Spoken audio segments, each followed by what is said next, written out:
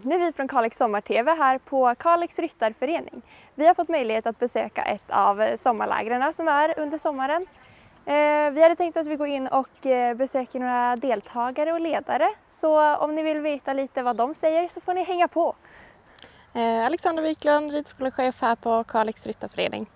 Ja, vi har nio barn och ungdomar här just nu på läger.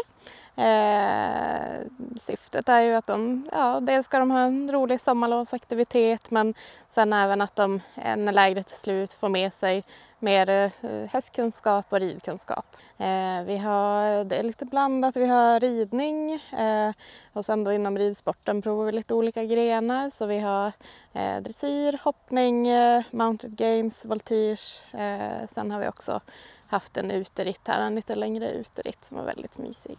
Eh, nu har vi delat upp det eh, så vi har varit med ett gäng här på förmiddagen och så ska vi med ett till gäng här på eftermiddagen. Under tiden så har de andra ett skolridningspass eller ett dressyrpass skulle man kunna säga. Så vi, vi kör parallellt. Vi kommer ha ett läger vecka 31 och det, det kommer vara ganska snarlikt med det här lägret. Eh, på det här lägret, lägret är det ryttare som har kommit lite längre i sin, i sin utveckling eh, och på läger vi har då vecka 31 är det de som eh, inte har ridit riktigt lika länge men innehållet blir i mångt och mycket detsamma. Vi har ett tre dagars läger nu. Eh, det kostar 1650 kronor eh, och då så eh, ingår det förmiddagsfika, eftermiddagsfika.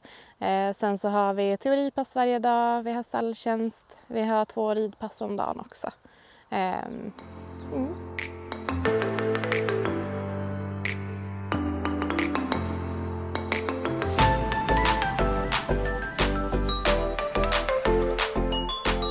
Vad heter du?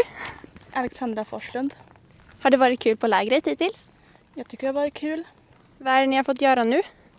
Vi har fått eh, vara på en uteritt och gå så hästarna får svalka sig i vattnet. Jag hörde att ni hade gjort någonting innan lunch. Vad var det? Det var balansövningar med knäna. Okej. Eh, vad är det bästa med ett sånt här läger skulle du säga? Att man får utvecklas och få bra råd och få rida och olika saker och sånt. Eh, skulle du rekommendera det här lägret för någon annan som du känner? Jag skulle rekommendera för det har varit kul att få testa ny, här, på saker och få utvecklas mer. Tror du att du kommer tillbaka, komma tillbaka nästa år? Det tror jag.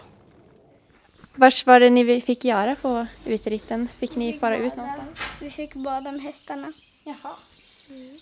Vad roligt. Skulle ni ut i ridhuset nu? Mm. Ja. Blir det en vanlig lektion där? Ja. Mm. ja. Okej, tack så mycket.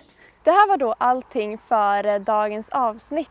Um, Hoppas ni har tyckt det var lika kul på KRF som eh, vi tyckte att det var. Det har varit en superintressant upplevelse att eh, få se hur det går till här på ridlägren.